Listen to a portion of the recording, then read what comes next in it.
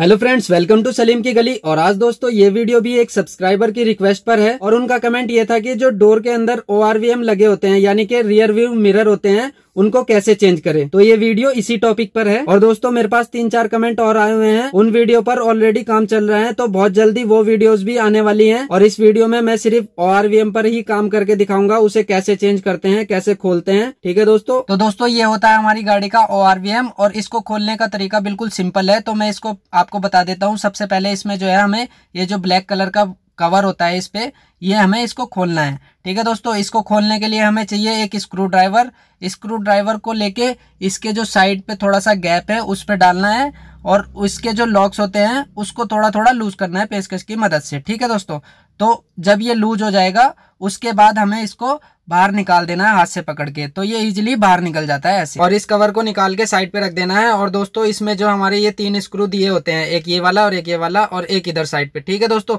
इन तीनों स्क्रू को हमें खोलना है। तो जल्दी से पहले हम इन तीनों स्क्रू को खोल लेते हैं। उसके बाद हम जो है अपना आगे का प्रोसेस देखेंगे क्या है। ठीक है दोस्तों? और दोस्तों, मैं आप लोगों से एक बात और कहना चाहता हूँ। कभी कभी मेरा मन करता है कि मैं ये सेंटरों पे वीडियो बनाना बंद कर दूँ, क्योंकि शायद मेरी वीडियो आप लोगों को अच्छी नहीं लगती।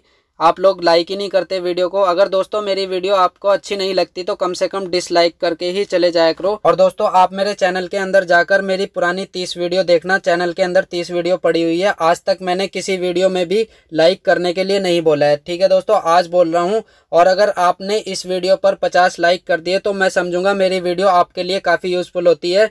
और जिस दिन इस वीडियो पर पचास लाइक हो जाएँगे, उस दिन मैं नई वीडियो उसी दिन अपलोड कर दूँगा। ठीक है दोस्तों? और अब काफ़ी देर हो चुकी है मुझे अपना दुख दर्द सुनाते हुए तो जल्दी से अपने वापस काम पे आ जाते हैं। तो दोस्तों, इसके जैसे दोनों स्क्रू खुल चुके हैं तो अब तीसरे वाला स्क्रू इसका खोलना है। और दोस्तों, तीसरे वाला स्क्रू भी हमारा खुल चुका है और इसको साइड पे रख देता हूँ मैं स्क्रू को। और इसके बाद हमें जो है अपना ओ आर जो होता है हमारा गाड़ी का, उसको पकड़ना है एक हाथ से और बाहर की साइड उसको धीरे धीरे खींचना है। ठीक है? और वो ईजिली बाहर निकल जाएगा कुछ इस तरीके से। ठीक है दोस्तों?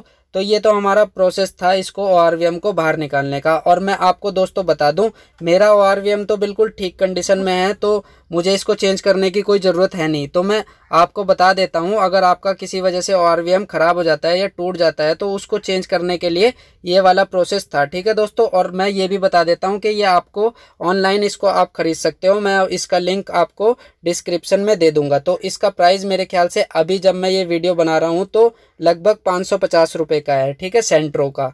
तो आप इसको वहाँ से जाके परचेज कर सकते हैं और अगर कर सकते हैं तो आप मार्केट से जाकर भी इसको खरीद सकते हो। मार्केट का रेट मुझे पता नहीं है कितना होगा, लेकिन ऑनलाइन इसका पाँच सौ पचास रुपये है, ठीक है दोस्तों?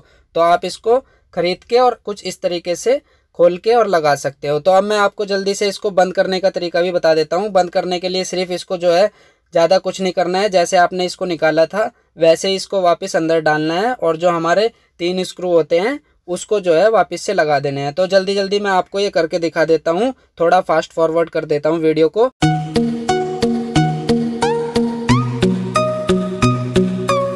और दोस्तों, वैसे तो ऑलरेडी दो तीन वीडियो पर काम चल ही रहा है, लेकिन जो लोग इस वीडियो पर नए आए हैं इस चैनल पर तो वो भी अपनी गाड़ी की कोई भी प्रॉब्लम हो तो मुझे कमेंट कर सकते हैं। मैं उस पर भी वीडियो ज़रूर बनाऊँगा, क्योंकि आप लोग मुझे बताओगे, तभी मुझे पता चलेगा कि गाड़ी में कौन कौन सी प्रॉब्लम होती है। ठीक है, मेरी गाड़ी में तो एक दो प्रॉब्लम होती है तो मैंने उस पर वीडियो बना दी है। तो अब कुछ चीज़ें मैं आपके लिए कर रहा हूँ, जैसे मेरा ये ओआरवीएम बिल्कुल ठीक था, कोई कमी नहीं थी, फिर भी मैंने इसको आपको खोल कर दिखाया। हालाँकि मेरी गाड़ी में वो प्रॉब्लम ना हो जो कि आपकी गाड़ी में है, अभी फ़िलहाल या होगी तो आप मुझे कमेंट करोगे तो मैं अपने गाड़ी के ज़रिए उसको खोल के और आपको समझा सकता हूँ, बता सकता हूँ। क्योंकि हर छोटी छोटी प्रॉब्लम के लिए कोई भी मैकेनिक के पास या इलेक्ट्रिशियन के पास नहीं जाता, क्योंकि वो लोग बहुत ज़्यादा पैसे मांग सकते हैं आपसे और मांगते भी है। क्योंकि पहले भी मैं जब ये वीडियो नहीं बनाता था, मैं भी ऐसे छोटे छोटे काम के लिए मकैनिक के पास इलेक्ट्रिशियन के पास जाता था तो वो छोटी छोटी चीज़ के बहुत सारे चार्जेस बताते थे।